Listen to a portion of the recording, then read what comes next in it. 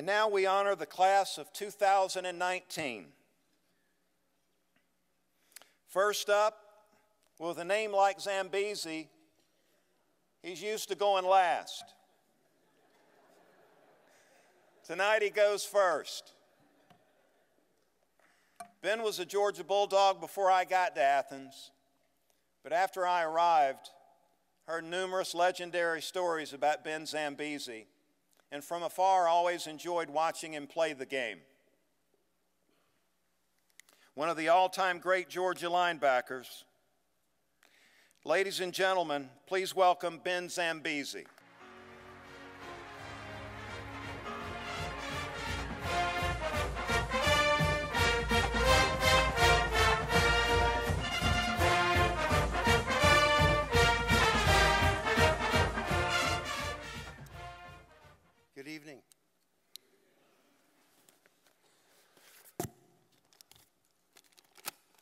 Last four months have been nerve-wracking because of this moment right here. You'd rather do almost anything except give public speaking. So I asked my dad, what's the secrets? And he said, stand up tall so they see you, talk loud so they can hear you, and keep it short so they love you. so I'm going to try to do my best. The most important thing we have in life is time because we're only given a little bit of it.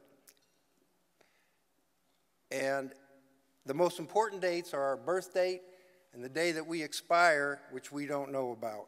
So, in the short time that I've been on this planet, and probably it's, and it's getting faster and it's getting shorter as I get older, I've learned that the most important things in life are two things love and forgiveness. And in my career, I have had a lot of that. Beginning with my family, I want to take this opportunity to thank my parents who brought me up understanding the principles, these two principles, love and forgiveness, and practicing them, and prioritizing your life, putting God first, family second, and your friends and community third. Now, I had a lot of gurus that have attributed to my success and for me being here tonight, and I'd like to take a quick moment to thank all these people. And I may ask for forgiveness if I don't mention everybody. But I want to tell you, these people right here were instrumental in my success growing up. My parents, up until the age of 13 when I attended Mount DeSales and came to school uh, here in Macon, Georgia. My dad was military, and we were stationed in Warner Robins. So I had five great years. I was also born in the state of Georgia in Valdosta at Moody Air Force Base. And traveled around the world, and it was, it was a great adventure. So the, the, the people I'd like to thank tonight, first of all, is the, my parents, the coaches, the staff, my teammates, everybody that was instrumental in my life in, in, in sports, in my education. And this, this weekend has been a fantastic weekend for me. Now, I want to thank the committee. We have uh, the citizens and the citizens that nominated me the committee that selected me, and the great staff that they have currently working here to get me and my family from Canada down here.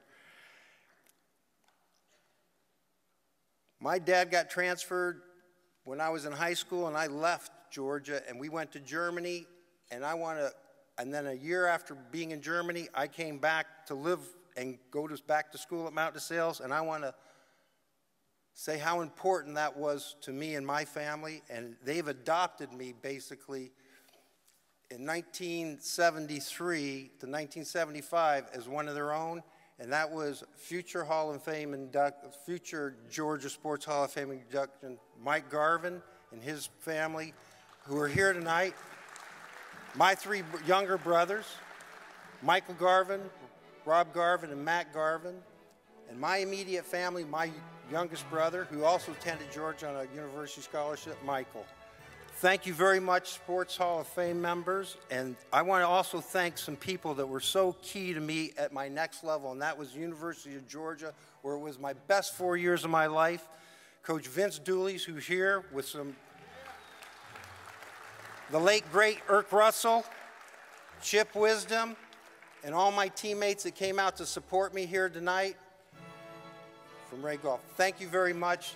Ladies and gentlemen, thank you for this great honor to be part of the Georgia Sports Holiday in Macon, Georgia. God bless you all. I love you so much. And thank you for sharing this great award with me tonight. Thank you.